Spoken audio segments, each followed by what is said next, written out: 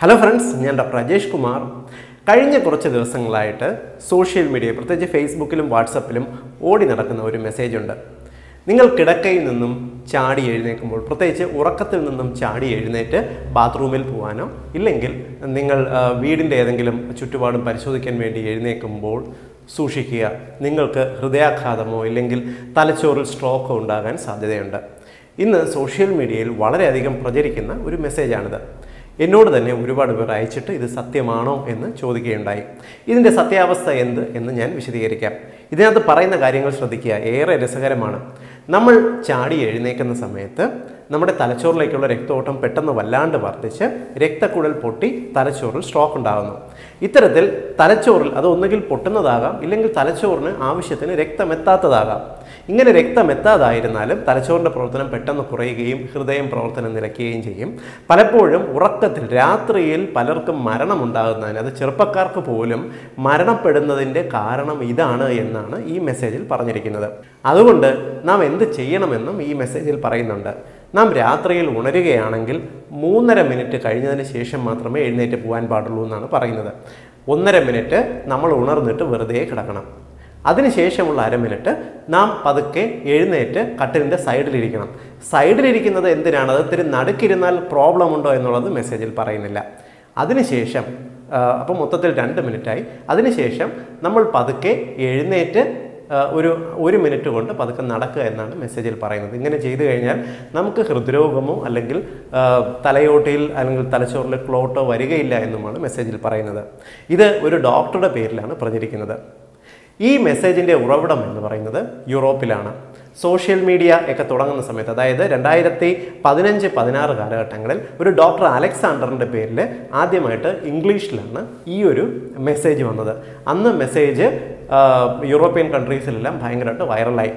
ഏതോ ബിരുദൻ കഴിഞ്ഞ വർഷം രണ്ടായിരത്തി പതിനെട്ടിലാണ് ഇത് മലയാളത്തിലേക്ക് മാറ്റി വരാൻ തുടങ്ങിയത്. ഇടയ്ക്കിടയ്ക്ക് ഇത് സോഷ്യൽ മീഡിയകളിൽ പ്രചരിക്കും കുറേ ആൾക്കാരെ പാനിക്കാക്കും സാധാരണഗതിയിൽ ചെറുപ്പക്കാർ ഇത് വലുതായിട്ട് ശ്രദ്ധിക്കത്തില്ല. പക്ഷേ ഒരു പ്രായം കഴിഞ്ഞവർക്ക് ഒരു നാൽപ്പത്തഞ്ച് കഴിഞ്ഞ് അൻപത് വയസ്സായവരൊക്കെ ഈ മെസ്സേജ് കണ്ട് വല്ലാണ്ട് ഭയപ്പെടാൻ തുടങ്ങും. ഓൾറെഡി അവർക്ക് രാത്രി പലപ്പോഴും ഒരു പ്രായമായവർക്ക് ഉറക്കം കുറവായിരിക്കും. ഇത്തരത്തിലുള്ള വാർത്തകൾ കൂടി കേൾക്കുമ്പോൾ രാത്രിയിൽ പെട്ടെന്ന് ഉണരേണ്ടി വന്നാലോ എനിക്ക് സ്ട്രോക്ക് വന്നാലോ എല്ലാം പേടിച്ച് ആവശ്യമില്ലാതെ ടെൻഷനാവും ഈ മെസ്സേജിന്റെ സത്യാവസ്ഥ എന്ത് എന്ന് ഞാൻ വിശദീകരിക്കാം. ശുദ്ധ മണ്ടത്തരമാണ് എന്ന് ആദ്യമേ തന്നെ ഞാൻ വ്യക്തമാക്കാം. കാരണം എന്തെന്ന് പറഞ്ഞാൽ നമ്മുടെ ബി പി എന്ന് പറയുന്നത് അതായത് നമ്മുടെ ബ്ലഡ് പ്രഷർ എന്ന് പറയുന്നത് സാധാരണഗതിയിൽ ഒരു നാല് വേരിയന്റ് ഉണ്ട്. ബി പി സാധാരണ നമ്മളെല്ലാവരും ഉറങ്ങുന്ന സമയത്ത് വളരെയധികം കുറയാറുണ്ട്. ഒരാളിന്റെ ഒരു ദിവസത്തെ ഏറ്റവും കുറഞ്ഞ ബി പി എന്ന് പറയുന്നത് നമ്മൾ സുഖകരമായി ഉറങ്ങുന്ന സമയത്താണ്. അത് കഴിഞ്ഞിട്ട് നമ്മൾ രാവിലെ ഉയരുമ്പോൾ ഉറങ്ങുന്ന സമയത്തെ ബി പിയേക്കാൾ ഒരു അല്പം വേരിയേഷൻ നമ്മൾ ഉണരുന്ന സമയത്ത് ഉണ്ടാകുന്നു. അത് കഴിഞ്ഞിട്ട് അടുത്ത ഒരു ബി പി പതുക്കെ കയറി തുടങ്ങുന്നതെന്ന് പറയുന്നത് ഉച്ചയ്ക്ക് ശേഷമാണ്. നമ്മൾ ഉച്ചയ്ക്ക് ഒരു ആഫ്റ്റർനൂൺ സെക്ഷൻ വരുമ്പോൾ ഒരു മൂന്ന് മണി സമയം മുതൽ അങ്ങോട്ട് കൂടുമ്പോഴാണ് നമ്മുടെ ഒരു ദിവസത്തെ ഒരാളിന്റെ ബി പിയുടെ ഏറ്റവും ഉയർന്ന ലെവലിലേക്ക് നോർമലി പോകുന്നത്. അത് കഴിഞ്ഞ് നമ്മൾ രാത്രി കിടക്കുന്ന സമയമാകുമ്പോഴേക്കും ബി പി പതുക്കെ കുറഞ്ഞു തുടങ്ങുന്നു. ഉറങ്ങുന്ന സമയത്ത് ഏറ്റവും നോർമൽ ഫേസിലേക്ക് വരും. ഇങ്ങനെ അല്ലാതെ ഒരാൾ ഉറക്കത്തിൽ പെട്ടെന്ന് ചാടി എഴുന്നേറ്റ് എന്നതിന്റെ പേരിൽ അയാളുടെ ബി പി പെട്ടെന്ന് കൂടുകയോ അല്ലെങ്കിൽ ബി പി കുറയുകയോ ചെയ്യുകയില്ല. ഉറങ്ങുന്ന സമയത്ത് തലച്ചോറിലേക്ക് ഹൃദയത്തിൽ നിന്നുമുള്ള രക്തത്തിന്റെ പമ്പിങ് കുറവായിരിക്കും എന്ന് ആ മെസ്സേജിൽ പറയുന്നുണ്ട്. ഒരിക്കലുമില്ല. കാരണം ഉറങ്ങുന്ന സമയത്ത് തലച്ചോറിലേക്ക് കൃത്യമായ രക്തം എത്തിയാൽ മാത്രമേ നമുക്ക് ശരിയായ ഉറക്കം പോലും കിട്ടുകയുള്ളൂ. അതുകൊണ്ട് ഒരിക്കലും നിങ്ങൾ പേടിക്കേണ്ട കാര്യമില്ല. കാരണം ഉറക്കത്തിൽ പെട്ടെന്ന് ഉണർന്നേറ്റ് ചാടി എഴുന്നേൽക്കുന്നതിന്റെ പേരിൽ നമ്മുടെ ബി പി ഷൂട്ട് ചെയ്യുകയും ഇല്ലെങ്കിൽ തലച്ചോറിലേക്ക് സ്ട്രോക്കിന്റെ സാധ്യത വരികയോ ചെയ്യുകയില്ല. ഇനി പെട്ടെന്ന് ചാടി എഴുന്നേക്കുമ്പോൾ പലർക്കും പെട്ടെന്ന് തല കറക്കം പോലെയോ തല പെരുപ്പ് പോലെയോ അനുഭവപ്പെടാറുണ്ട്. അതിന്റെ കാരണം എന്ന് പറയുന്നത് ഈ മെസ്സേജിൽ പറയുന്നതല്ല. അതിന്റെ കാരണം ഞാൻ വിശദീകരിക്കാം.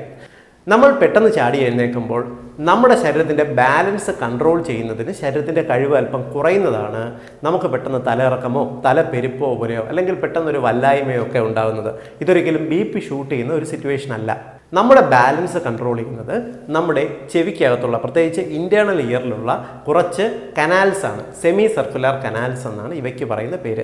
ഇവ മുകളിൽ നിന്ന് താഴേക്ക് വട്ടത്തിനുള്ള കനാലുകളുമുണ്ട് സൈഡിലേക്ക് തിരിഞ്ഞിട്ടുള്ള കനാലുകളുമുണ്ട്.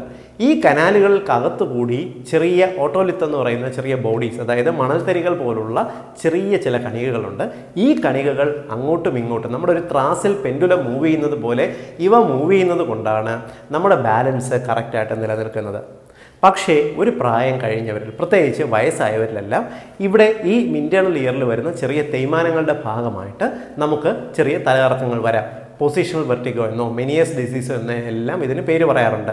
സാധാരണ തണുപ്പ് കാലത്ത് പ്രത്യേകിച്ച് മഴക്കാലത്ത് മഞ്ഞുകാലത്ത് എല്ലാം തന്നെ നിങ്ങൾക്ക് സന്ധിവേദന കൂടുതൽ വരാറുണ്ട്. അതുപോലെ തന്നെ ചെവിക്കകത്ത് ഇത്തരം കണികകളിൽ തേയ്മാനം വന്നാൽ അവിടെയും തണുപ്പ് കാലത്ത് പ്രശ്നങ്ങൾ വരാം. നിങ്ങൾക്ക് ചെവിക്കകത്ത് മൂളൽ പോലെയോ ചെവിക്കകത്ത് അടപ്പ് പോലെയോ ചെറിയ തലകറക്കമോ അനുഭവപ്പെട്ടു എന്ന് വരാം. പലപ്പോഴും ഉറക്കത്തിൽ നമ്മൾ കണ്ണ് തുറന്നിട്ട് പെട്ടെന്നൊരു സൈഡിലേക്ക് ചരിയുമ്പോൾ പെട്ടെന്ന് ഭയങ്കരമായിട്ട് തലകറക്കം വരുന്നതുമെല്ലാം നമ്മുടെ ചെവിയുടെ ബാലൻസിങ്ങിൽ വരുന്ന വ്യത്യാസം കൊണ്ടാണ്. ഇതേ കണ്ടീഷൻ തന്നെ നമ്മൾ കിടന്നിട്ട് പെട്ടെന്ന് ചാടി എഴുന്നേൽക്കുമ്പോഴോ ഇല്ലെങ്കിൽ നമ്മൾ ബാത്റൂമിലൊക്കെ കുനിഞ്ഞിട്ട് പെട്ടെന്ന് നിവരുമ്പോഴോ പെട്ടെന്ന് പുറകിൽ ആരെങ്കിലും പിടിച്ച് നമ്മൾ തിരിഞ്ഞു നോക്കുമ്പോഴോ എല്ലാം ബാലൻസിങ്ങിൽ വ്യത്യാസം വരാം. ഈ സിറ്റുവേഷനാണ് നമ്മൾ ഉറക്കത്തിൽ പെട്ടെന്ന് ഉണർന്ന് ചാടി എഴുന്നേൽക്കുമ്പോൾ നമുക്ക് തല പെരുപ്പ് പോലെയോ തല കറക്കം പോലെയോ വരുന്നത്. അല്ലാതെ ഈ മെസ്സേജിൽ പറയുന്നത് പോലെ തലച്ചോറിലേക്ക് രക്തോട്ടം കിട്ടാത്തതോ തലച്ചോറിന് അനീമിയ വിളർച്ച വരുന്നതോ അല്ല. ഇനി മറ്റൊരു കാര്യം നിങ്ങൾക്ക് ഉറക്കത്തിൽ എഴു പെട്ടെന്ന് ചാടി എഴുന്നേൽക്കുമ്പോൾ തലയിറക്കമോ മറ്റോ ബുദ്ധിമുട്ടുകളോ വരുന്നുണ്ടെങ്കിൽ നിങ്ങൾ ചെവി ഒരു പഞ്ഞി വെച്ചിട്ടോ ഇല്ലെങ്കിൽ കിടക്കാൻ നേരത്ത് ഒരു ടവൽ വെച്ചിട്ടോ നമ്മുടെ രണ്ട് ചെവികളും കവർ ചെയ്തിട്ട് നിങ്ങൾ കിടക്കുന്നുണ്ടെങ്കിൽ നിങ്ങൾക്ക് ഒരു പരിധിവരെ ചെവിക്കകത്ത് തണുപ്പടിച്ചിട്ടോ കാറ്റടിച്ചിട്ടോ ഉണ്ടാകുന്ന ഇത്തരത്തിലുള്ള ചെറിയ അസ്വസ്ഥതകളോ തലകറക്കങ്ങളോ ഒരു പരിധിവരെ നമുക്ക് കുറയ്ക്കാൻ സാധിക്കും. കിടക്കയിൽ നിന്നും നമ്മൾ പെട്ടെന്ന് ചാടി എഴുന്നേൽക്കുമ്പോൾ തല കറങ്ങം വരുമെന്നും സ്ട്രോക്ക് വരുമെന്നുമുള്ള മെസ്സേജുകൾ ഇടയ്ക്കിടയ്ക്ക് നമ്മുടെ വാട്സപ്പിലും സോഷ്യൽ മീഡിയയിലും എല്ലാം പ്രചരിക്കാറുണ്ട്. അതുകൊണ്ട് ഇത്തരത്തിലുള്ള മെസ്സേജുകൾ കണ്ട് പേടിച്ച് നമ്മളിത് മറ്റുള്ളവരിലേക്ക് ഷെയർ ചെയ്യുന്നതിന് മുമ്പ് ഒരു നിമിഷം നാം ബുദ്ധി ഉപയോഗിച്ച് ആലോചിക്കുക. ഇല്ലെങ്കിൽ നിങ്ങൾക്ക് അടുത്തുള്ള ഒരു ഡോക്ടറോട് ഈ സംശയം ചോദിക്കുക. അദ്ദേഹം തീർച്ചയായിട്ടും നിങ്ങൾക്ക് ഇതിന്റെ സത്യാവസ്ഥ വെളിപ്പെടുത്തി തരും. അതുകൊണ്ട് ഞാൻ ഈ പറയുന്ന ഇൻഫർമേഷൻ നിങ്ങൾ എല്ലാവരുടെയും അറിവിലേക്കായി ഷെയർ ചെയ്യുക. കാരണം ഇത്തരത്തിലുള്ള അബദ്ധങ്ങൾ കണ്ട് ആരും തെറ്റിദ്ധരിക്കപ്പെടാതിരിക്കട്ടെ. വീണ്ടും മറ്റൊരവസരത്തിൽ മറ്റൊരു വിഷയമായി കണ്ടുമുട്ടാം. ബൈ.